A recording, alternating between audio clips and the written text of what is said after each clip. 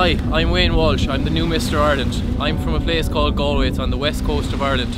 I'm a personal trainer and a fitness instructor. The gym and health has played a huge part in my life for as long as I can remember. Since I won Mr. Ireland, it's opened so many doors for me and I've got the opportunity to work with so many great charities. A charity that I've become an ambassador for is Pieta House. It deals with suicide prevention and it also gives counselling services to people struggling with mental health issues, something that's really close to my heart. I'm really looking forward to getting to the Philippines, meeting all the guys on the Mr. World stage. Really just can't wait for August. We'll see you then.